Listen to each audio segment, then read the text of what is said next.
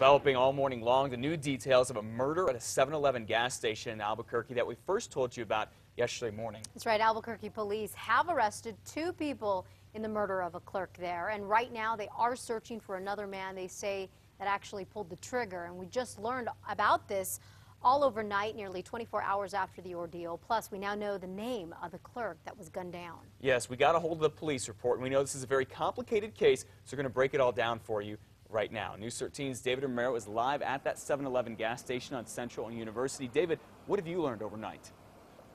Well, Matt, a lot of co complicated details came out overnight. This was after police were being very tight-lipped about the information as to what happened here yesterday. Now, according to the criminal complaint, 20-year-old Julian de Herrera, 22-year-old Dylan Villarreal, and 22-year-old Eloy Aguilar arrived at the 7-Eleven gas station on the corner of Central and University yesterday just before 1 in the morning.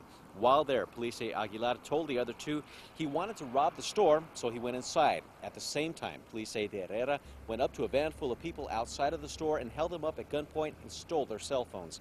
A clerk saw that, ran outside, and called 911. That's when De Herrera and Villarreal got back into their car. They say they heard a gunshot, so they took off. Police say Aguilar was trying to rob the store and fired a shot that hit and killed the clerk inside. After that, he took off running. Police say they found De Herrera and Villarreal through a GPS tracker from one of the stolen cell phones.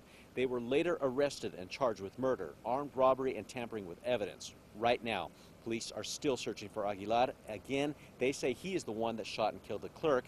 They, this was, of course, a scene that has many in the area shaken up. I'm there every morning pretty much, and sometimes at night getting coffee. So it scares the hell out of me.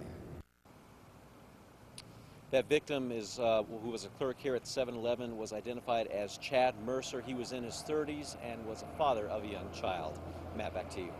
Such a sad story there, David. Thank you for breaking that all down for us.